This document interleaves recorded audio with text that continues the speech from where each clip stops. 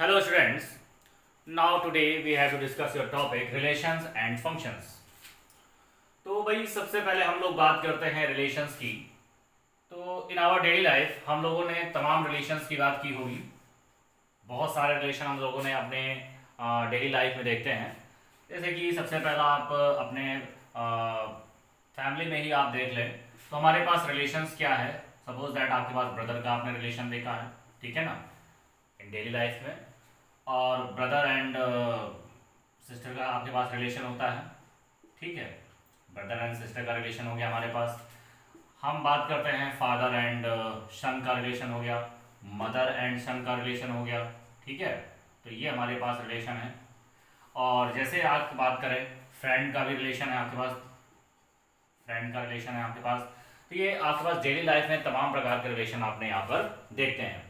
अब देखिए, अगर हम बात करें, इन रिलेशन की बात करें सपोज़ दैट हम यहाँ पर इस रिलेशन की बात कर रहे हैं फादर एंड सन्स तो भाई फादर और सन के रिलेशन की अगर हम बात करें, और यहाँ पर हम देखते हैं कि आपके पास मान लीजिए फादर्स नेम है आपके पास, है, ये है रमेश। रमेश आपके पास फादर है। ओके ये हमारे पास फादर है, और इनके जो सन है, वो आपके पास हैं, विक्रम। ओके तो रमेश यहाँ पर फादर हैं और इनके सन कौन है? विक्रम। तो हम यहाँ पर अगर हम रमेश और विक्रम को इस तरीके से लिखें और यहाँ पर कुछ अरेंज करके लिखें कि यहाँ पहले हमने लिख दिया रमेश ओके और यहाँ पर हमने लिख दिया विक्रम। ये हमने यहाँ पर इस प्रकार से लिखा कि रमेश और विक्रम।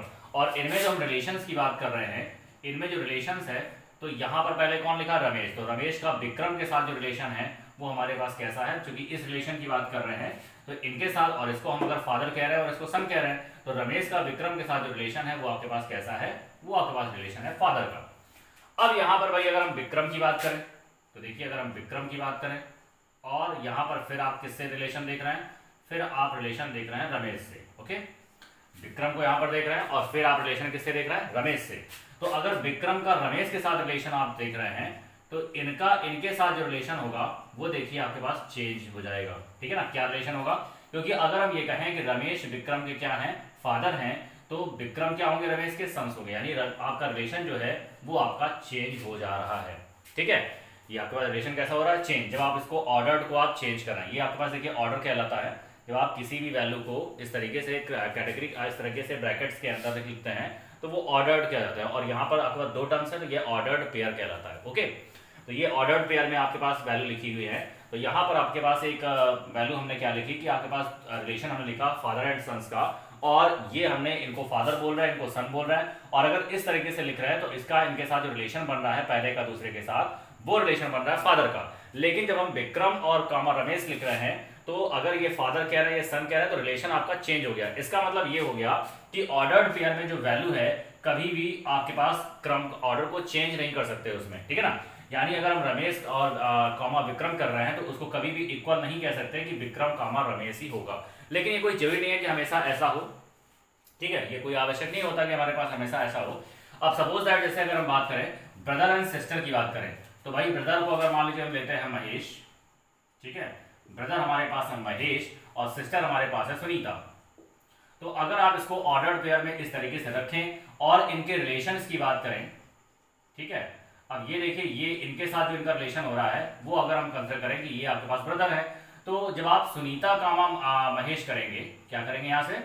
सुनीता, कामा, महेश करेंगे और जब आप इसके रिलेशन की बात करेंगे तो देखिए जब आप इसके रिलेशन की बात करें तो यहाँ पर जो रिलेशन मिल रहा है, वो थोड़ा चेंज हो रहा है। तो अगर ये इनके ब्रदर है तो ये इनकी क्या हो जाएँगी? सिस्टर हो जाएँगी।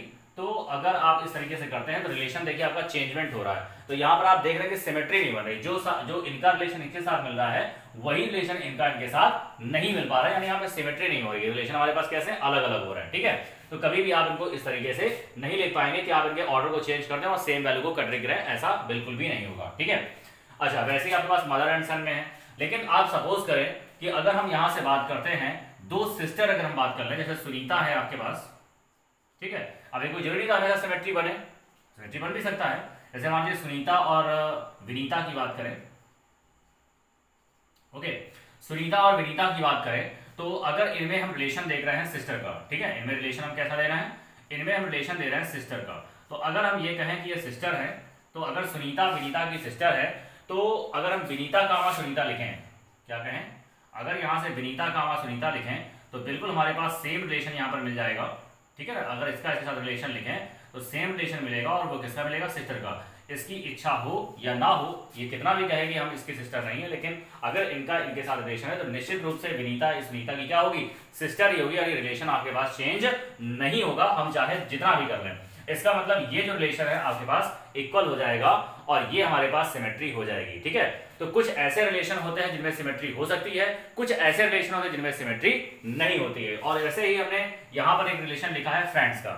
तो देखिए फ्रेंड्स के रिलेशन की बात करें तो इसकी भी सिमेट्री नहीं होती है। कारण ये है कि अगर मान लीजिए हम आ, किसी भी कोई व्यक्ति है और उस व्यक्ति को कहें कि अमुक व्यक्ति हमारा जो भी हमारे सामने वाला जो फ्रेंड्स है हम कहें कि वो हमारा फ्रेंड्स है। तो अगर हम उसकी बात करें कि वो हमारा फ्रेंड्स है तो कोई ज़रूरी है कि वो भी हमको फ्रेंड्स की तरह ले? ये कोई ज़रूरी नहीं होता। अब सपोज़ दैट अगर हम यहाँ पर कहते हैं कि मान लीजिए अमिताभ बच्चन के हम बहुत अच्छे मित्र हैं तो क्या ज़रूरी है कि अमिताभ बच्चन भी हमको मित्र कहें? उनके लिए हमें जानना ज़रूरी है। ठीक है? अपनी तरफ़ से कुछ नहीं हो सकता।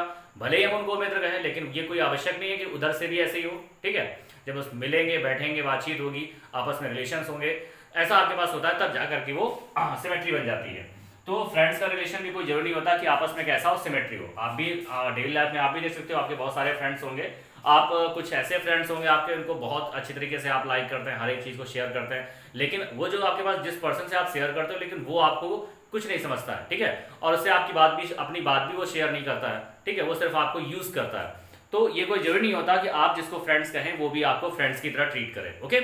तो इसका मतलब जो फ्रेंड्स का रिलेशन है, वो भी आपके पास क्या है? जो फ्रेंड्स का रिलेशन होता है, वो भी सिमेट्री नहीं होती। इसका मतलब ये हो गया कि उसको भी आप ऑर्डर पेयर में आप लिखें अगर मान लीजिए आपके पास रमेश और महेश, ये क्या है आपके पास? रमेश का महेश फ्रेंड्स हैं तो ये कोई ज़रूरी नहीं कि महेश का रमेश भी हम लिख पाए तो वो भी सिमेट्री नहीं बन पा रही है। तो ये तो बात हो गई डेली लाइफ में रिलेशंस की, और इनकी हमने बात किया कि इनको ऑर्डर पेयर में रखा, और ये आपके पास रिलेशन कब इक्वल होंगे, कब इक्वल नहीं होंगे, इनको हमने डिस्कस कर लिया। आगे हम बात करते हैं अपने मैथमेटिक्स की बात करें तो मैथमेटिक्स में भी रिलेशंस होते हैं। तो चलिए मैथमेटिक्स में किस तरह के रिलेशन होते हैं? सेट्स में आपने बहुत सारे रिलेशन को पढ़ रखा है। जैसे अगर हम बात करें, देखिए नंबर्स की बात करें तो नंबर्स की बात करें तो भाई हमारे पास क्या हो सकता है? दो नंबर्स इक्वल हो सकते हैं। इक्वल हमारे पास एक रिलेशन है। ग्रेटर देन ये भी हमारे पास एक रिलेशन है। भाई कोई वैल्यू किसी से ग्रेटर है, किसी को कोई वैल्यू किसी से लेस है तो ये भी हमारे पास रिलेशन हो सकता है। तो सपोज़ करें हमने यहाँ पर लिखा हुआ है टू कामा थ्री हमने एक यहाँ पर ऑर्डर्ड पेयर लिया है। हमने दो एलिमेंट्स को लिखा, दो एलिमेंट्स को ब्रैकेट में लिख दिया और ये कहलाएगा ऑर्डर्ड पेयर कहलाएगा। और यहाँ पर आपके पास ऑर्डर्ड पेयर में हमने एलिमेंट्स लिखे। अब यहाँ पर एक रिलेशन दे रहे हैं, जिसको हम आर कंसिडर कर रहे हैं। रिलेशन दे रहे हैं कि ये आपके पास क्या है? लेस देन है ओके रिलेशन हमारे पास क्या है? लेस देन तो हम भाई देख रहे हैं कि two is less than three यानी तीन बड़ा है और आपके पास दो क्या है? छोटा है। तो two is less than three तो अगर यहाँ पर हम क्या थ्री कमा टू लिखें तो क्या आप थ्री कामा टू इस रिलेशन में कह पाएँगे? बिल्कुल नहीं कह पाएँगे। और ये हमारे पास इक्वल नहीं होगा किस रिलेशन के अंतर्गत, इस रिलेशन के अंतर्गत इक्वल कभी भी नहीं हो सकता है ओके तो ये हमारे पास क्या है? ये हमारे पास क्या हो जाएगा? ये आप इसको इस प्रकार से कभी नहीं लिख पाएँगे इसकी सिमेट्री नहीं होती है इस रिलेशन के अंतर्गत ओके अब अगर हम बात करें ए कामा बी और इनको अगर हम कहें कि इक्वल है तो इक्वल में आपके पास हो सकता है, ठीक है? तो जैसे अगर बात करें टू कामा टू तो अगर हम टू कामा टू की बात करें कि टू और टू क्या हमारे पास? इक्वल है। इनमें रिलेशन हमने क्या दे दिया? इनमें रिलेशन हमने दिया यहाँ से इक्वल तो भाई अगर टू कामा टू लिखे तो ये टू वाले को अगर आगे लिखते हैं तो टू कामा टू तो हमारे पास बिल्कुल इसकी सिमेट्री हो जाएगी, ठीक है? तो ये हमारे पास रिलेशन कैसा है? इक्वल का जो रिलेशन है, वो आपके पास सिमेट्री होती है, ठीक है? तो इनमें ऑर्डर पेयर आप चेंज कर सकते हैं। चलिए, और ऐसे बहुत सारे रिलेशन आपके पास है, जैसे आपने सबसेट कहा था तो सबसेट भी आपके पास एक रिलेशन है। सबसेट क्या होगा? दो सेट के बीच में लगेगा, अगर हम कहें ए सबसेट बी ठीक है? तो आपका बी सबसेट कैसे होगा? वो डिपेंड करेगा कि आपके पास क्वेश्चन कैसा है ओके तो सबसेट भी आपके पास कहीं पे सिमेट्री होती है कहीं पे सिमेट्री नहीं होती है। जैसे मैंने बताया था प्रॉपर सबसेट प्रॉपर सबसेट में आप ए इक्वल टू बी नहीं होता, दो सेट इक्वल नहीं हो सकते प्रॉपर में। लेकिन अगर प्योर सबसेट है तो उसमें आपके पास लिखा जा सकता है, ठीक है? उसमें आपके पास ए बी इक्वल हो सकते हैं। तो ये सारी चीज़ें आपके रिलेशन में आती हैं। तो आपके पास देखा कि रिलेशन में हमने जो एलिमेंट्स लिखे हैं, वो किसमें लिखे? ऑर्डर्ड पेयर में। तो चलिए ऑर्डर्ड पेयर की बात करें। तो ऑर्डर्ड पेयर का क्या मतलब हुआ?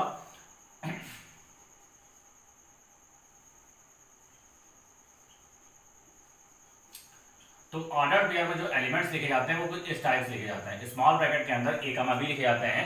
जब किसी स्मॉल ब्रैकेट के अंदर दो एलिमेंट्स को इस तरीके से लिखे हैं तो वो कहलाते हैं ऑर्डर्ड पेयर कहलाते हैं। और ये ऑर्डर्ड पेयर का कौन सा एलिमेंट है?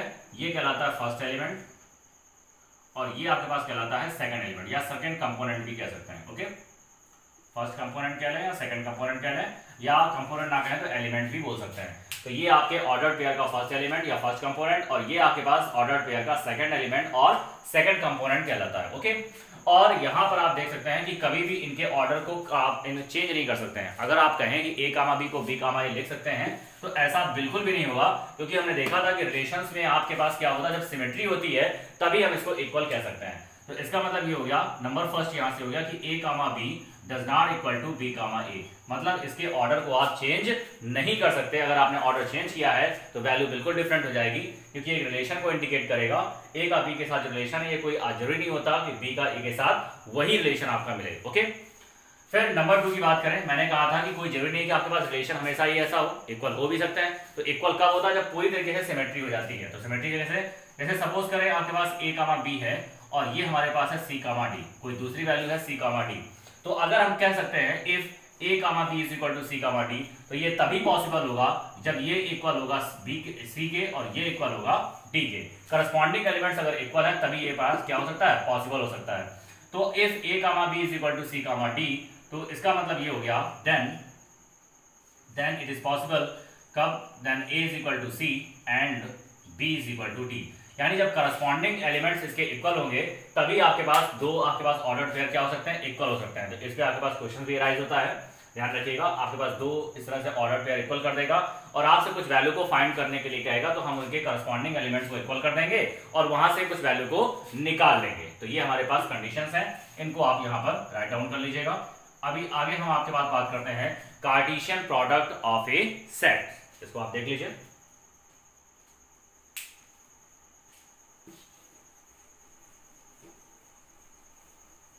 इसका स्क्रीनशॉट ले सकते हैं। आगे हम डिस्कस करेंगे Cartesian product of a sets चलिए Cartesian product of a sets को डिस्कस करते हैं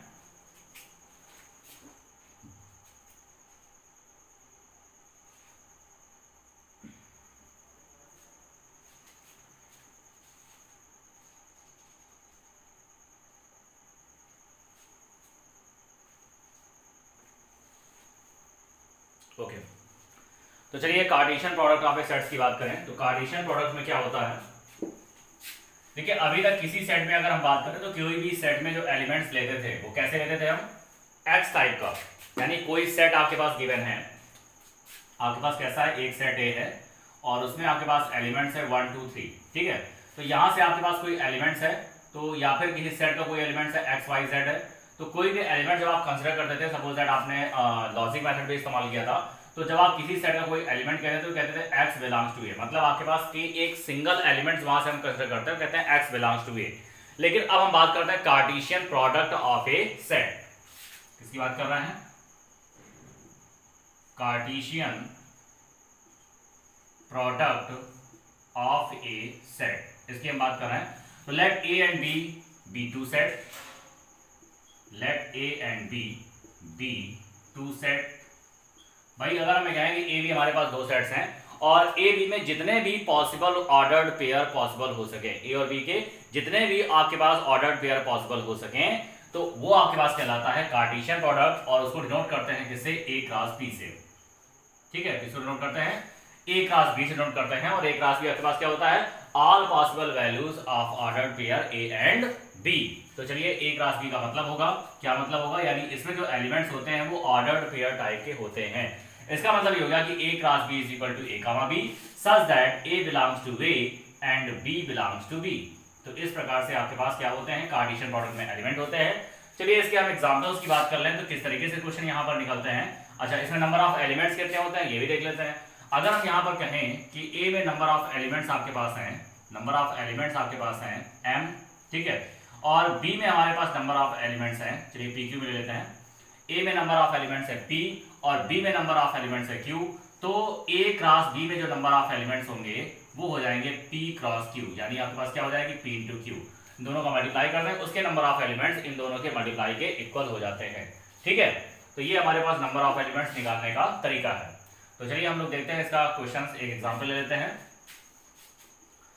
सपोज़ दैट आपके पास ए इज़ इक्वल टू है A comma B and B is equal to हमारे पास है वन टू थ्री और हम यहाँ से निकालने जा रहे हैं ए क्रॉस बी तो चलिए ए क्रॉस बी की अगर हम बात करें तो पहले आप ए को रखेंगे सेट ए रख लिया और क्रॉस करके लग दिया सेट में वन टू थ्री और मैंने ये कहा है कि ए क्रॉस बी क्या होता है?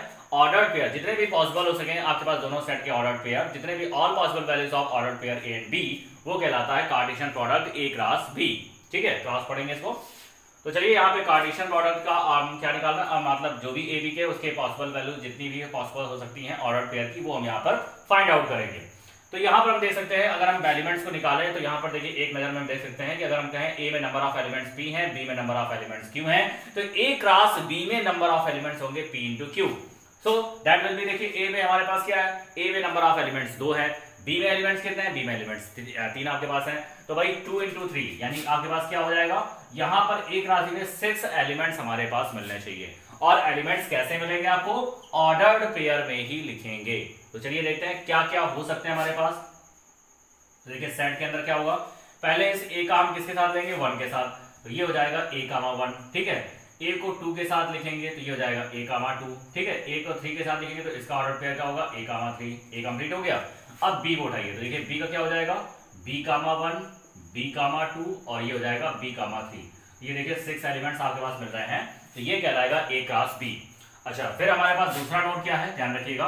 इसमें कार्डिशन प्रोडक्ट में क्या होता है कि ए क्रॉस बी कोई ज़रूरी नहीं होता कि बी क्रॉस ए के इक्वल हो, ठीक है? ये कोई आपके पास आवश्यक नहीं है कि ए क्रॉस बी क्या होगा? बी क्रॉस ए के इक्वल होगा, क्योंकि कारण है कि आपके पास जो कार्डिशन प्रोडक्ट में जो एलिमेंट होते हैं ऑर्डर पेयर में होते हैं ऑर्डर पेयर कोई ज़रूरी कि आपके पास कैसे हो इक्वल हो. मतलब इतना ज़रूरी नहीं कि ऑर्डर आपके पास जो चेंज कर दें ऑर्डर को तो वो इक्वल ही हो. तो चलिए बी क्लास ए की अगर हम यहाँ से बात करें तो क्या हो सकता है बी क्लास जरा देखिए। और देख सकते हैं यहाँ पे इक्वल होगा कि नहीं होगा। तो पहले हम बी को लिखेंगे। बी हमारे पास क्या है? वन टू थ्री और ए हमारे पास कितना है? ए हमारे पास है ए कामा बी तो एलिमेंट्स तो भाई उतने ही मिलेंगे। ये देखिए, इसमें तीन एलिमेंट थ्री एलिमेंट्स इसमें टू तो थ्री इंटू टू सिक्स तो एलिमेंट्स हमारे पास वही मिलेंगे। लेकिन हमारे पास जो वैल्यू होगी, वो चेंज होगी। ये दोनों इक्वल नहीं होंगे। चलिए वन को पहले ए के साथ लिखेंगे। तो ये हो जाएगा वन कामा ए फिर बी के साथ लिखेंगे वन कामा बी फिर क्या होगा? टू कामा ए, फिर क्या होगा? Two comma B. फिर क्या होगा? थ्री कामा ए और फिर क्या होगा? Three comma B. तो आप देख सकते हैं कि दोनों ही वैल्यू इक्वल नहीं हो पा रही हैं। अच्छा एक क्वेश्चन इसमें और राइज होता है, जरा ध्यान से देखिए।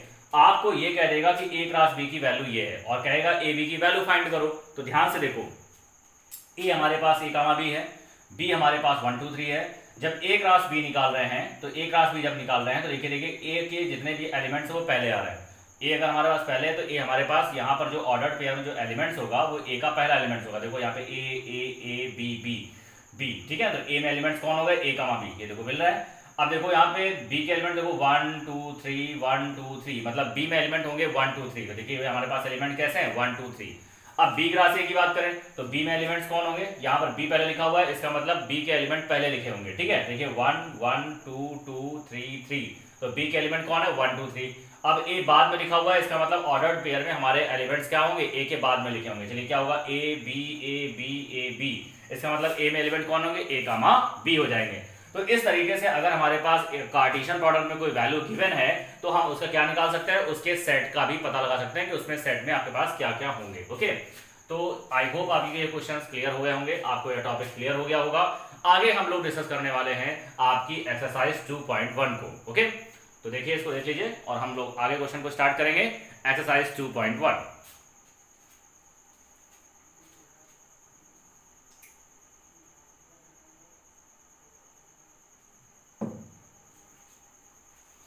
तो चलिए, अपनी एक्सरसाइज को स्टार्ट करते हैं, एक्सरसाइज 2.1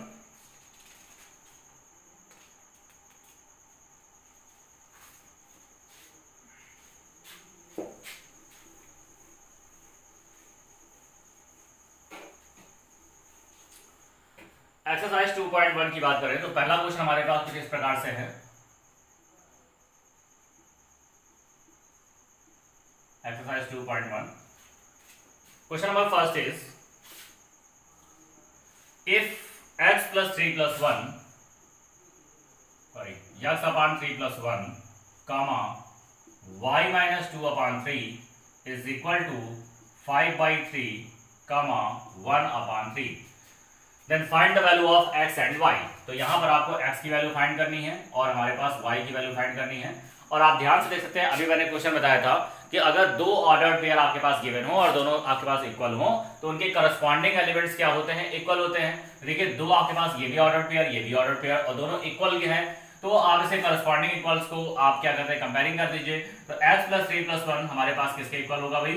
फ़र्स्ट एलिमेंट्स के। इसका फ़र्स्ट एलिमेंट ये है और इसका फ़र्स्ट एलिमेंट फ़र्स्ट कंपोनेंट है फाइव बाई थ्री तो ये इक्वल हो जाएगा फाइव बाई थ्री इसको आप सॉल्व करेंगे। X by three is equal to five by three minus का वन और जब आप एलसीएम ले लेंगे, भाई थ्री एलसीएम आएगा तो फाइव माइनस थ्री फाइव में थ्री को माइनस करेंगे तो वैल्यू आएगी two by three three three cancel out हो जाएगा तो वैल्यू आएगी x is equal to two इसी तरीके से हम यहाँ पर देख सकते हैं, हमारा जो इसका का आपके पास सेकंड कंपोनेंट है, वो हमारे पास है y minus two by three is equal to one by three फिर यहाँ से आप y टू बाई थ्री को जब आप राइट साइड पे भेजेंगे तो वन बाई थ्री और प्लस का टू बाई थ्री जब आप एलसीएम ले लेंगे तो ये हो जाएगा थ्री और यहाँ पर हो जाएगा वन प्लस टू तो ये आएगा three by three cancel out हो गया।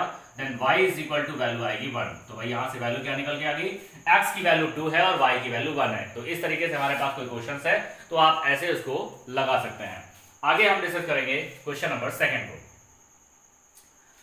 Now question number second is if the set has three elements if the set A है थ्री एलिमेंट्स यानी number of elements set A में कितने हैं? थ्री हैं आपके पास। And the set B three four five और बी सेट आपके पास गिवन है? बी सेट गिवन है three four five then find the number of elements in A cross B तो भाई, इसमें नंबर ऑफ़ एलिमेंट्स पता है? इसमें नंबर ऑफ़ एलिमेंट्स हमें कितने नज़र आ रहे हैं? काउंट कर लीजिए, इसमें नंबर ऑफ़ एलिमेंट्स है थ्री क्यों भाई? तो आपसे कह रहा है find the number of elements in A cross B यानी आपको निकालना है ए क्रॉस बी में नंबर ऑफ़ एलिमेंट्स कितने होंगे? तो भाई ये हमारे पास number of elements n A और क्रॉस में क्या हो जाएगा?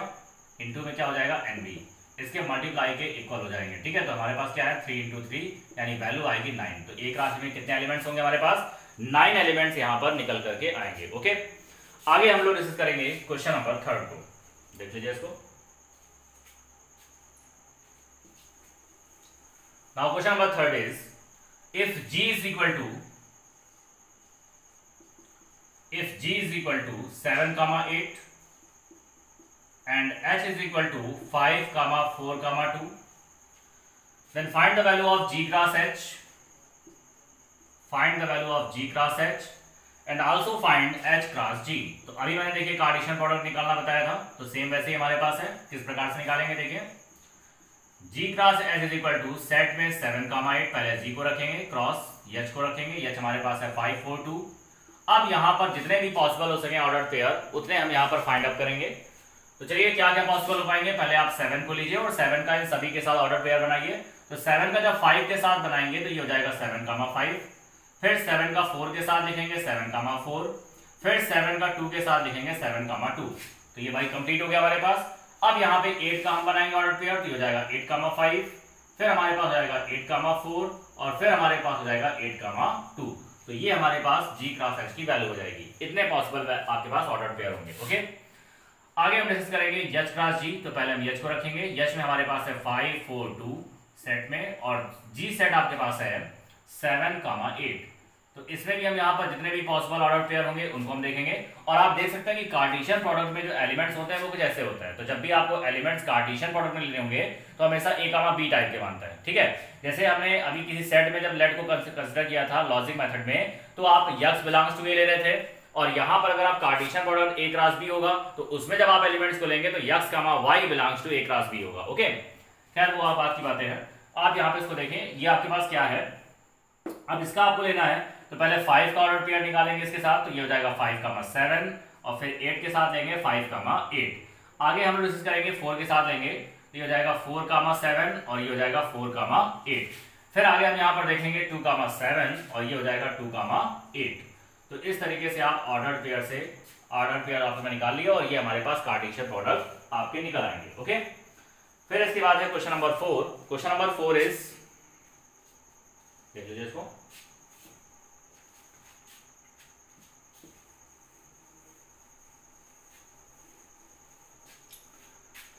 क्वेश्चन नंबर फोर हमारे पास कह रहा है state whether each of the following